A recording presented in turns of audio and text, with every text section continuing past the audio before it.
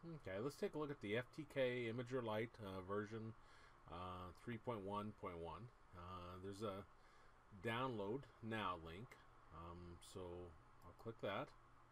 I'm actually right clicking it and opening a new window so I don't lose that um, folder. And it, uh, in my um, browser here, it's putting it down in the lower left hand corner and it looks like it's done. So I'll right click on that, say show in folder.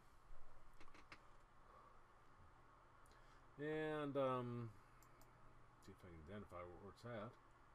There it is, Imager Lite. So I'm going to right click on that and choose copy. And then I'm going to put it into my temporary folder where I'm going to put my files. So paste that, right click, choose paste.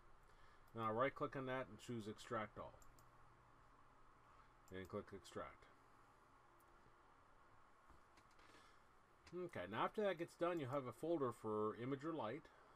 So if you double click that, um, there's nothing to install here. So you see the FTK Imager.exe down there. Yeah, double click that. And um, mine's giving me a um, an inf information here. Uh, prevent an unrecognized app from starting, or in this app might put your PC at risk. I'll click more info, and uh, then I'll click run anyway and um, I'll say yes.